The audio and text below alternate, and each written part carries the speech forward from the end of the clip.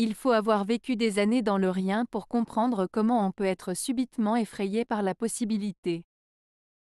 David Foenkinos Cette citation de David Foenkinos peut être interprétée de la manière suivante. Pour vraiment comprendre la peur soudaine qui peut nous envahir, il faut avoir traversé des périodes où l'on se sentait vide, sans but, sans passion, sans rien qui nous anime. C'est dans ces moments de vide intérieur que la peur peut surgir de façon inattendue, car elle trouve un terrain propice dans le néant qui nous entoure.